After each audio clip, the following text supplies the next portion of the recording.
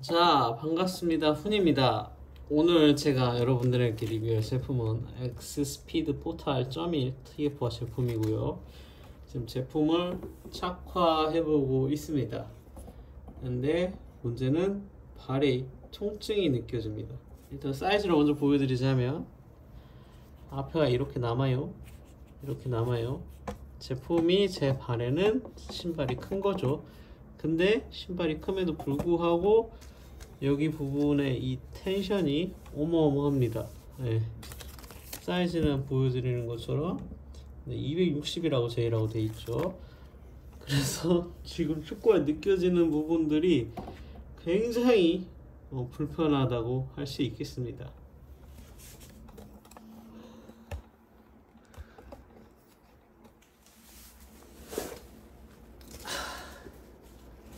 그래서 이 축구화를 지금 말씀을 드리면 어, 어 숨이 차네. 이 압박이 심하게 와가지고 좀 몸에 스트레스를 많이 줬나 봐요. 그래서 제가 느껴지는 걸로는 뭐 일단 말씀을 드리자면 엑스 스피드 포탈이란 이름처럼 스피드를 내기 위한 제품에 대한 컨셉과 그런 디자인 소재가 쓰인 거는 분명하다고 느껴집니다. 왜냐면 빨리 달리기 위해서 이 축구화를 디자인하고 만든 사람들이 어느 부분에 집중했느냐. 요새 유행처럼 어퍼나 가피를 얇게 만들어서 일단 무게를 줄여보자 라는 느낌의 컨셉이고요.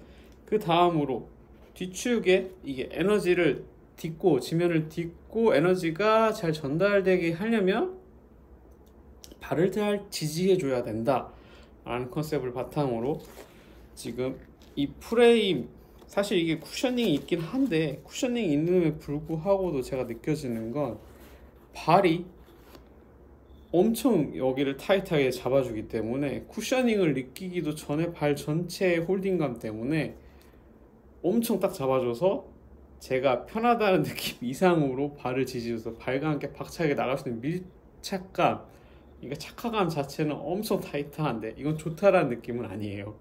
타이트해서 힘을 빨리 전달할 수 있겠지만 착화감 자체가 너무 불편해서 그 부분이 발을 치고 나가기도 전에 굉장히 불편하게 느껴져서 문제는 윗부분이 여기가 윗부분이 압박을 너무 심하게 가져오는 바람에 이 밑에 부분이 잘 제대로 느껴지지가 않아요.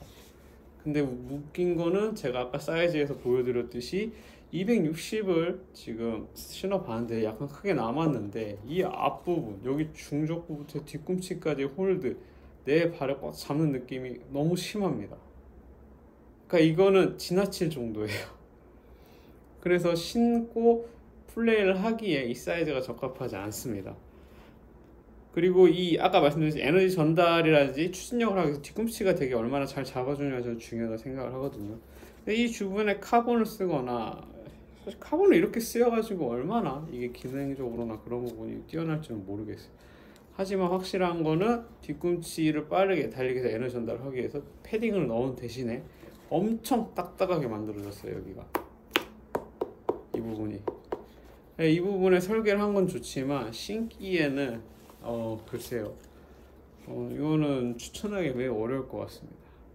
그리고 뭐 이거는 제품에 대한 제 개인적인 소감이었고 제품을 구입하실 분들은 무조건 이 제품은 신어보고 사기 전에 신고 나서 그러니까 최소한이에요. 최소한 10분 이상은 양발을 신고 걸어 다니면서 프레셔나 발에 오는 압박의 느낌이 특히 여기 여기 이쪽 부분에서 이 부분이 얼마나 내 발을 누르고 압박을 하고 불편한지 정도의 수준을 무조건 따져보셔야 됩니다. 이거는 내가 이 제품을 사고 싶다. 그러면 무조건 10분 이상 테스트예요. 매장에 가서 어디 가서든 남들이 뭐라고 눈치를 주건 말고 사고 싶으면 제가 말씀드리고 싶은 거는 10분 이상은 무조건 서서 체크해서 걸어 다니세요. 그러고 나서 제품이 어떤지 나한테 판단을 하시고 무조건 구매하시기 바랍니다. 그래야 적어도 내가 이 제품이 나한테 맞는지 안 맞는지를 정확하게 평가할 수 있을 것 같아요. 그래서 사실 분들은 여기 압박감이 어떤지를 무조건 느껴라 어, 이 말씀을 드리고 싶습니다. 감사합니다. 안녕.